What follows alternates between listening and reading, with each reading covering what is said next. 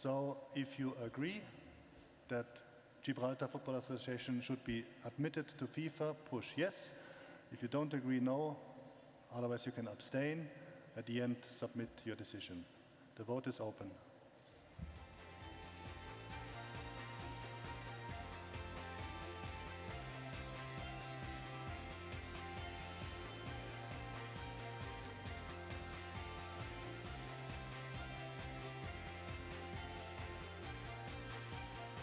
The vote is closed.